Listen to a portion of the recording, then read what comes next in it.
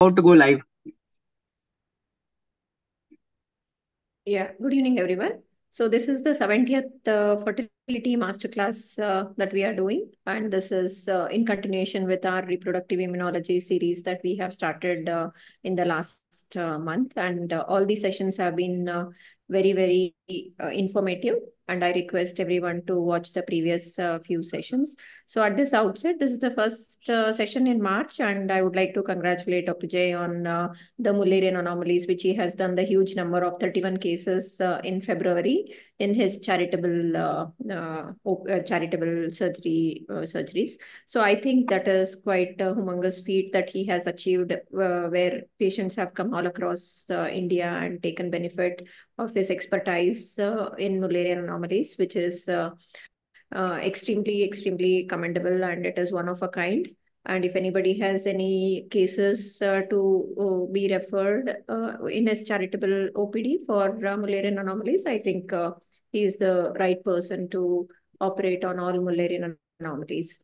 So coming back to today's topic, today's topic is lymphocyte immune therapy. And as we all know that the immunological aspects of uh, pregnancy and uh, implantation is still unknown. And fetus being an allograft uh, has to be accepted by the mother. And as all mothers who are all tolerant to their kids uh, i think the embryo also has to be tolerated by the maternal immune system which uh, kind of like you know doesn't happen uh, in some cases and i think immunology plays uh, a very important role in modulating uh, the acceptance of this uh, fetus. So we have spoken about thymosin, we have spoken about I IVIG, we have spoken about intralipid. And one such experimental uh, procedure is lymphocyte immune therapy, which we will discuss today. And yeah, over to you, sir. So, hi everyone. See, one good thing about paternal lymphocyte immunization therapy is that one, it is not a new therapy. No, it has been going on, it has been practiced in, in even in India since the last 25, 30 years. There is nothing unique about it. It is one of the most basic experimental therapies as far as recurrent pregnancy loss is concerned, right? So if anybody can go through any of our master classes, so if you go through the last 10 master classes on immunological factors for pregnancy loss or implantation failures, you will realize that paternal lymphocyte immunization therapy is only indicated in cases of idiopathic recurrent pregnancy loss or in cases of recurrent implantation failures where it is idiopathic, provided the blocking antibody is absent in the mother. Okay, that is the most important thing. Okay, this blocking antibody usually is actually produced by a lot of unknown factors, but it is believed that it is produced predominantly. Uh, okay, either through the sperm antibodies, it is produced either through the, uh, you know, um, um, previous implantations of that embryo which would have occurred and which would have failed and caused a biochemical pregnancy and all these types of things. So we don't exactly know who will produce a blocking antibody and who will not. But it is very, very easy to test it. You need to test the couple, you need to test the husband, and you need to test the wife. It is something which is commonly available called as CDC cross matching. It is available as a routine blood test. It will cost you somewhere between 2800 to 4000 rupees depending on which laboratory you are sending it to and you just need to send a blood sample. Okay? You can also go one step further into this and you can do something called as hla typing. Okay? And the difference between the hla types of the couple should be more than 6 for you to go and attempt any form of lymphocyte immunization therapy if there is no major difference beyond that, then there is no point in attempting that at all because it already talks about the fact that there is an established immunity. Okay. Now, let's assume the mother is negative for blocking antibody, that is CDC cross match is negative. Okay. That means the mother does not have any presence of blocking antibody. Then, how do you do paternal lymphocyte immunization therapy? Okay. It is one of the simplest procedures okay i know of people uh, who are very good friends with me and i love them a lot actually and they give bowel preparation to patients who require lymphocyte immunization therapy. Okay, so remember, it is just a blood test. Okay, you just need to take out blood of the male partner, male partner's blood. He has to be fasting only for six hours. Okay, the reason why the male partner should be fasting is because of fasting blood, no, it loses out a lot of cholesterol.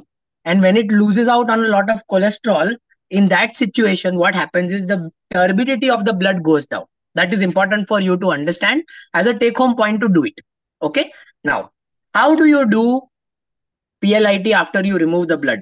So, all the standard protocols the husband and wife would undergo infectious disease testing and all these types of things you need to draw approximately 70 to 90 cc of the blood from the male partner okay and it needs to be put inside this tube can you see the name of this tube? I think everyone can see the name of this tube. It is something called a SepMate. Can you see that?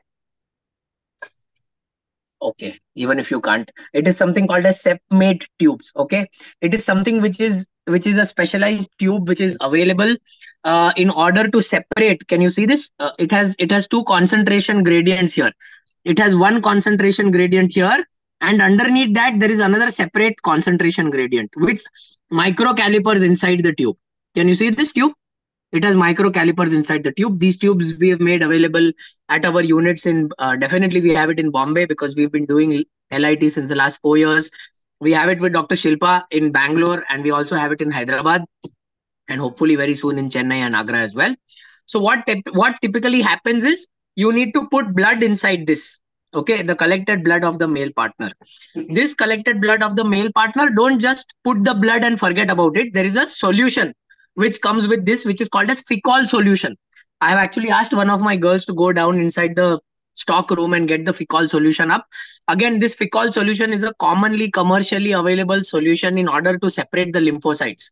So it is not a solution which I have designed or Shilpa madam has designed. There is nothing like that. It is a commercially available solution. It is a little expensive, okay, which is why people don't like to invest in it unless they have a lot of cases. But otherwise, uh, it's a very straightforward solution. So there is a ratio of the amount of patient's blood and the amount of uh, Ficoll solution which you need to put inside this tube.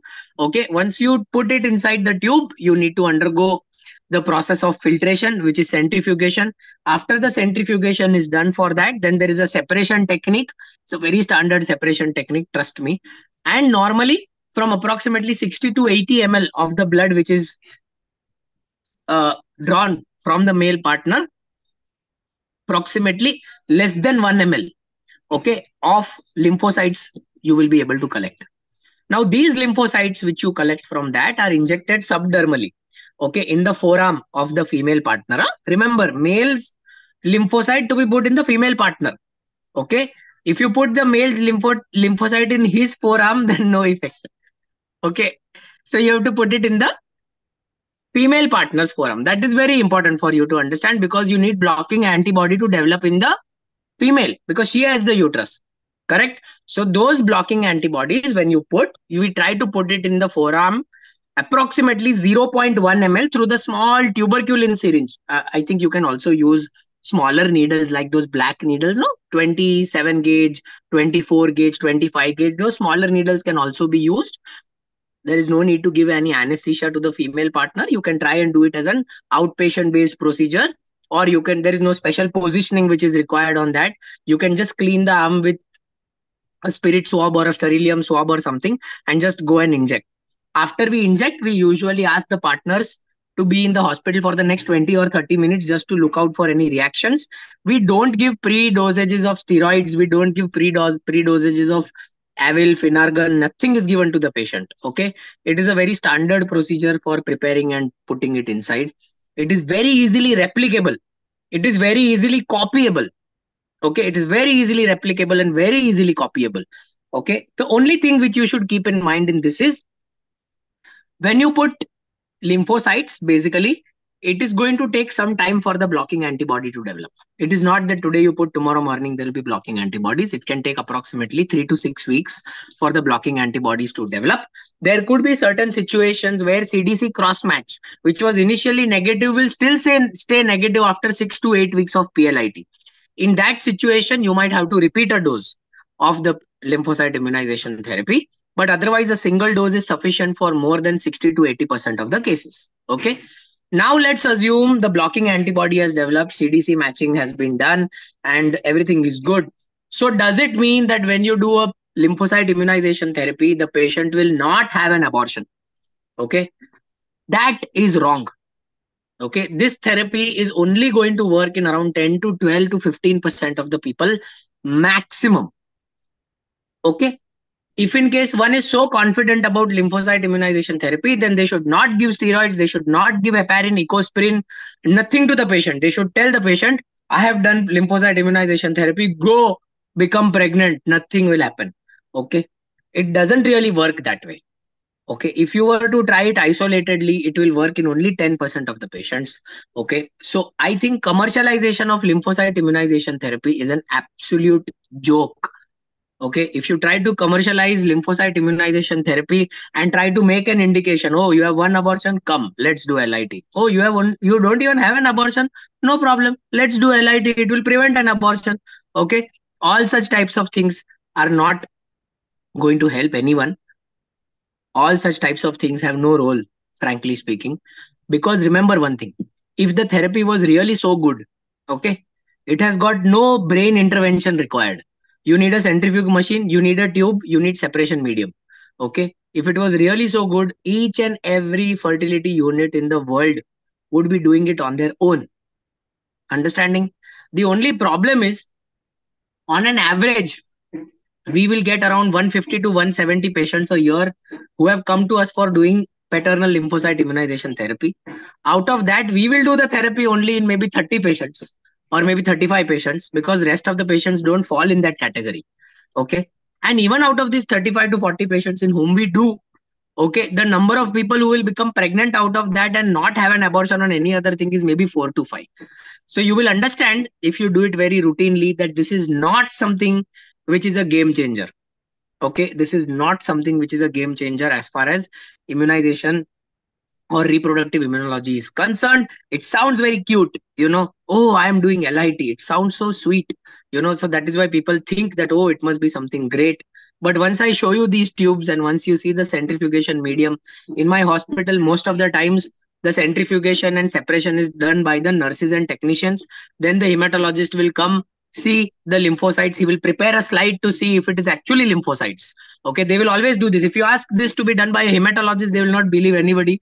They will do the lymphocyte put it on a slide. They will prepare the slide. They will check that if it is lymphocyte it's take around 15 minutes for them to stain it. And then they will go ahead and inject. Okay because that is how they are trained to do everything which is why which is how we do it at our place there are so many people who are doing it as gynacs so they don't even employ a hematologist to do it. They definitely don't even know how to prepare the slide so they must be putting something which is looking white thinking it is lymphocytes inside. Okay probably even that must be working. Okay but if a hematologist is doing it at your setup he or she will prepare a slide to identify lymphocytes. Okay many a times there could be mixture. See the one thing the hematologist doesn't really want is a mixture of platelets and lymphocytes to occur together. They don't want that. This is what my hematologist has taught me that we don't really want when we do an lit we don't want lymphocytes and platelets to go and mix with each other. They want isolated lymphocytes and as i said they will prepare it on a slide they will calculate a gradient and then they will put it inside. Okay? So we do that at our place and i think it is it is decent it is not something with which I get carried away at all because I think it is a very, very specific therapy which has very limited indications. It does not really have major indications. One should not really think that if your IVF patient has failed two embryo transfers with excellent embryos, they should do LIT. That should not be the take home point. The take home point is if two IVF cycles have failed and if you suspect implantation failure, then before you do all these things, do a good hysteroscopy, rule out chronic endometritis, rule out the other factors which probably must be playing a role because this is one of the last factors which will play a role in doing anything to to the uh, you know reproductive immunology. So with that i conclude and i can take maybe two or three questions from shilpa madam. Yeah uh, what about the consent for lit how do you take that it's an experimental procedure consent. We have the consent. I think we have shared it with you. We'll share it on the groups with others if people are interested. Okay. And what is your role uh, for LIT in recurrent implantation failure? As you told that it has to be kept in the last compared to like, you know, the others like chronic endometritis, hysteroscopy, and uh, even PGTA, you think uh, should come before uh, LIT? Of course. Yeah. Of course. I mean, there is, it's a no-brainer. If you go through our last 10 classes, we have really mentioned that PGTA with an euploid embryo is a huge difference. A euploid embryo goes inside and it will stimulate that endometrium to implant itself. Yes. That's the beauty of a euploid embryo. Yeah. Okay. So one has to keep that in mind. Okay. So what is the cost of this HLA typing, if at all, if you're doing? Around 7,000 rupees, madam. Okay. And you have to do it for both couples, so it will come up to around Yeah. 14 14,000. No, no, no. Couple, couples, couples, it comes to 7,500. Oh, okay. Okay. And uh, coming to like, you know, I mean, licensing or does it require like the uh, solution has to be stored in a cold room in a certain temperature? Uh, how does it work? 2 to 8 degrees. hmm call solution, we store it in the cold room. It is in 2 to 8 degrees. Mm. No other licensing is required because, as I said, at our place, the hematologist is signing on it. So he gives the slide. You should see what he does. It's so beautiful. He gives the slide which is full of lymphocytes to the patient. Understanding. And, uh, you know, when a technically gifted guy does it, Yeah. their slide preparation is superb, madam. Okay. I, I mean, so, I'm a gynac, but I love the slides, they the way in the, which they make it. Okay. So the commonest uh, question that a couple will ask is like whether uh, same bl blood group in uh, the husband and wife, is it going to cause any abortion? No correlation. No correlation, right? And uh, uh, uh, with regard to uh, LIT, I mean, do you repeat it uh, uh, every time, even after she gets pregnant, if it is for recurrent miscarriages? There are some papers which state that you must repeat or you can repeat, but I think it has got no role. Trust me. Okay, so it is a single sitting according to you, and the one that you had done If the blocking was antibody is formed, then yes, it is a single sitting. single sitting, yeah. So uh, we are talking about paternal leukocyte immune therapy. So is there any role of like, you know, uh, just injecting random leukocyte and not paternal? I mean, all that we need is just a blocking antibody, right? I mean, how do we correlate or uh, that like only the husband's uh, thing has to be there? so this is a very important question because remember one thing, you don't really need this therapy at all, at all, if you are doing IVF with donor sperms. Yeah. You don't really need this therapy at all if you are doing it with donor eggs. Mm. You don't require this therapy at all if you are doing embryo. um the donation embryo means uh, sperm is also different and egg is also different. You don't require that. This therapy is only for self cycle, husband and wife. Okay. The reason being the embryo which is formed, it is believed that once the implantation has occurred, okay, the way in which the immunology would probably function is because some of the genes which the paternal part of the embryo, the syncytial trophoblast would express, okay, it is that which gets rejected for that particular partner. Okay. It is it does not really mean that it will happen to all the partners, which is why I am saying that it is an experimental therapy because there are so many people who have who would have become pregnant with blocking antibody negative, right? So many people on earth. So I really think that's why I said it's a very, very last stage experimental therapy, not to be done randomly on people. So in a month, uh, in a year, how many cases you do? Around 30, 35, not more than that. Okay, and how much is the cost of that reagent? You said it is expensive, Uh, around a lakh. And how many I, cases I think one lakh. Yeah, I know it. Yeah. Uh, and for how many cases it comes? I don't know. Maybe 30, 35 cases. Yeah, I don't know. 30, 30 cases. 30, Uh, 35 cases, I think. yes, yes. Uh, so I think uh, your charges uh, uh, are quite uh, steep in when it comes to LIT. It would be around a lakh. Uh, Yeah, 1.25. yeah. Okay. Uh, yeah. Uh, okay, yeah. Thank you. I think uh, we'll take the rest of the questions in the group. Thanks. It was good. Okay. Thank you. Bye. Bye.